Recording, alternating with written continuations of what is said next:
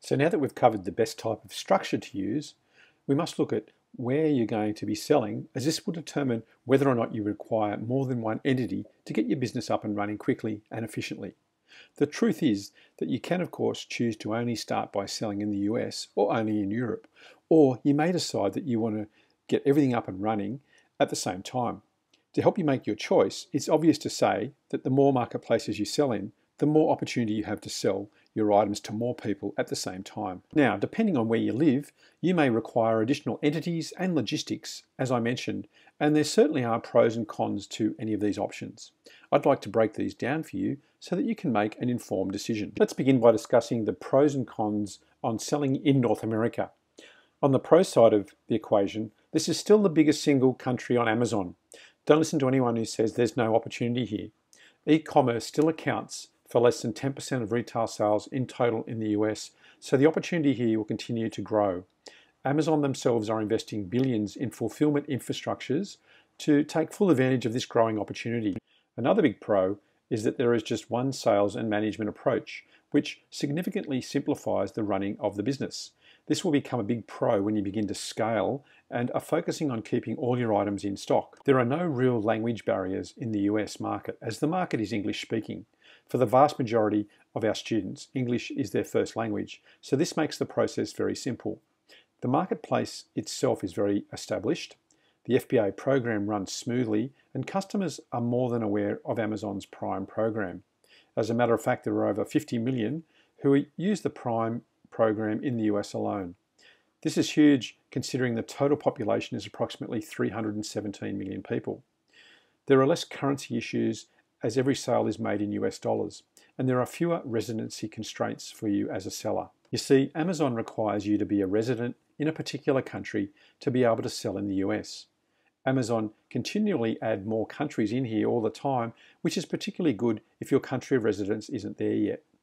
You may say, what if I live in a country that's not on Amazon's list, but I have a US company?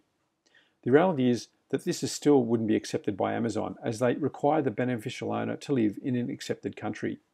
You can check this by Googling what countries of residence Amazon.com accepts. None that this list is actually different from the European markets. Now onto the cons. Firstly, due to the fact that you're only selling in one country, this means that you're essentially only going to ever deal with one consumer base. This, in essence, limits the growth you can experience in your business and increases your potential risk as your product must work in that market. Next, you don't get the opportunity to experience country multiplication. This alone changed my business. When I was able to sell my items in more than one market, I was able to have more customers in more countries buy my items at the exact same time. This is the engine that makes the rule of five so powerful. Without it, you can still build a very profitable business. It just can't scale up quite as quickly. There are plenty of established sellers. Now, it's a good thing that the market is established. However, a significant number of sellers makes some markets overly competitive. That said, there is still plenty of room in this market. It's simply something to be aware of and accept, but there's no doubt that compared to the less competitive European markets, it's a bit of a con. Next, there is more logistics required, as you will find that Amazon require you to ship your items to multiple fulfillment centers at the same time, due to the geographic size of the market. In Europe, at the time of recording this program, you can ship all items to the same fulfillment center in one country and use the European fulfillment network to ship items out to individual customers from one location. In other words, you can stock all your items in, say, the UK, and then Amazon will ship items to German customers and French customers from that one location as orders are made. This brings us to the final con then, in that there is no similar North American fulfillment network. If you want to sell to, say, Mexico and Canada, you'll have to ship your items directly to those countries to be able to do so. You'll only do this in Europe when your business is considerably larger. Now let's take the pros and cons of selling in Europe. First off, the big pro to selling in Europe is that you get access to country multiplication immediately. All that's required is a simple translation of your items to get things started. It's very appealing and gives you the ability to sell your items to more customers at the same time, diluting your risk significantly and increasing your flip time. That is, the amount of time it takes your items to sell out in full from the time of ordering. Next, there's a varied consumer base as you get the opportunity to sell to so many countries at the same time. Remember, you won't only sell to German, French, Spanish, Italian, and UK customers. No, you'll also get access to the countries that surround those markets. For example, Austrian customers buy from Amazon.de, Portuguese customers buy from Amazon in Spain, and so on. There's no doubt that these are growing marketplaces and will continue to be for years. Not only will the current marketplaces grow, but Amazon are growing the number of countries that they're in at the same time. You'll see country after country join the network over the next few years, which will of course increase your customer reach every single time. Compared to the North American market, Europe has a larger overall population.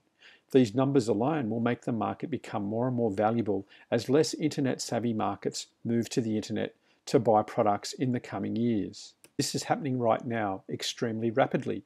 There are some well established markets here as well. The UK, Germany, and France, for example, are very well established markets and have millions of customers buying from them every day of the week. There's less logistics required compared to the US, as I outlined a few moments ago. I also talked about the power of the European fulfillment network. This really is a huge pro for you and your business when you trade in Europe.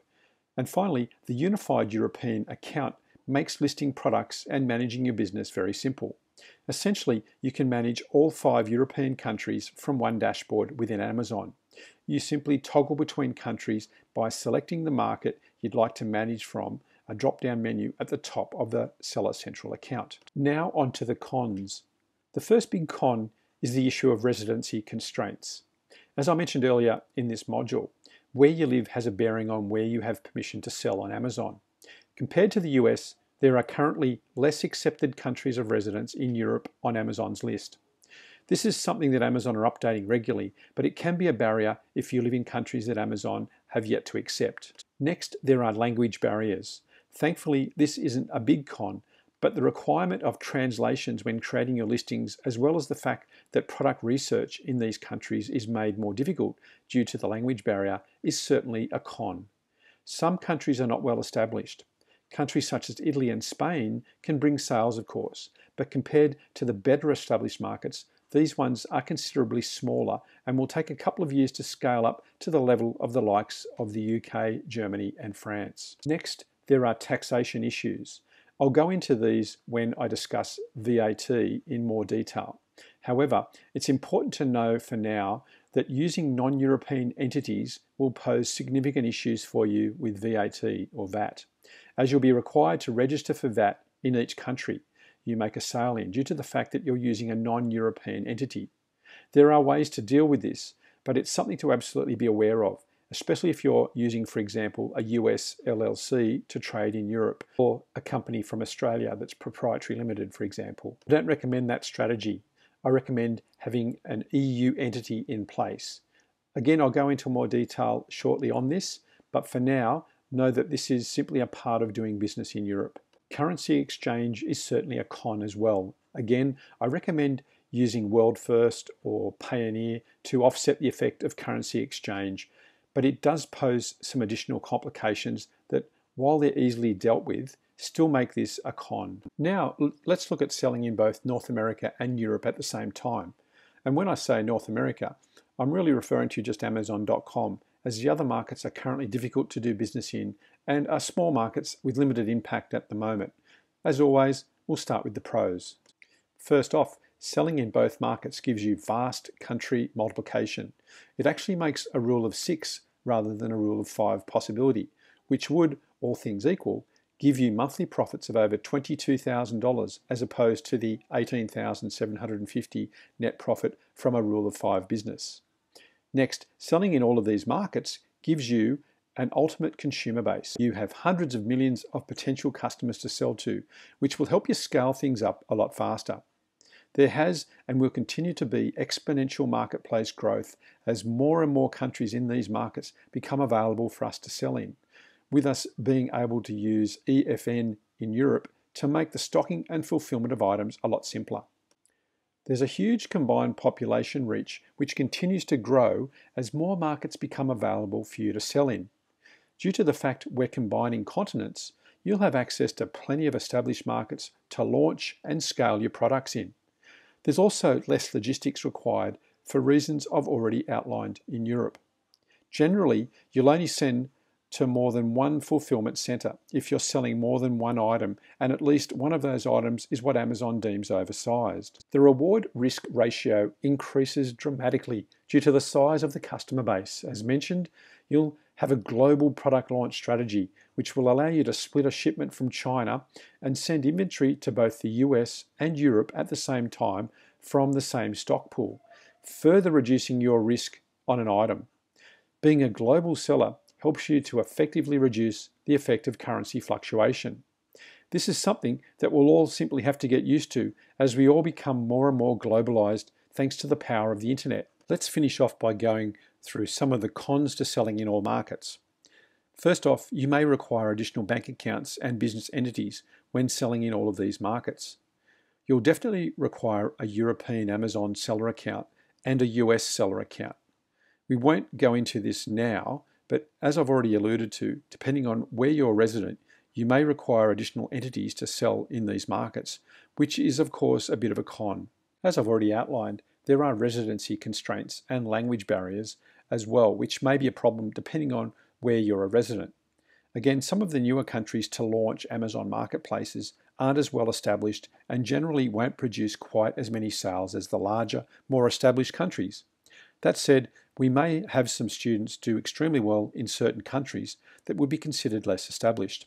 It really comes down to the product and the demand for that product. Next, I talked about taxation issues, particularly VAT issues in Europe. Now, these issues are certainly not something you can't deal with, far from it. The reason they're a con is because they pose some complications, but by no means do they make anything impossible or even overly difficult. Finally, launching in both Europe and North America requires more investment. This goes without saying, as you'll require a decent number of units to be able to test both markets accurately. Now, the ultimate goal is to sell globally, but you may choose to start in fewer marketplaces, especially if you've never started a business before and feel nervous about launching in too many marketplaces too quickly. You may, however, ask me, Geoff, where should I start selling? My answer is always one word globally. This is the advice I'd give anyone who asked my true opinion. Now, you may wonder where to start selling if you live outside the US or Europe and your country of residence is eligible to sell on Amazon. In this case, I'd really leave this up to you. There's no real right answer. You've got to look at the pros and cons and make that call.